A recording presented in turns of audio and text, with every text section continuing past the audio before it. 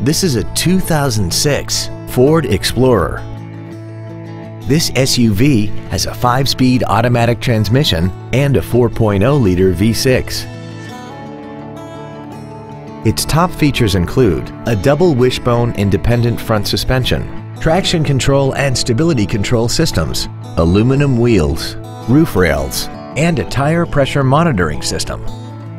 The following features are also included air conditioning, cruise control, full power accessories, a CD player, a leather-wrapped steering wheel, a trailer hitch receiver, a chrome grille, an anti-lock braking system, front and rear reading lights, and this vehicle has less than 69,000 miles.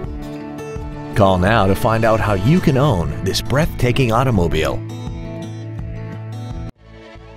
Pearson Ford is dedicated to doing everything possible to ensure that the experience you have selecting your next vehicle is as pleasant as possible. We're located at 10650 North Michigan Road in Zionsville.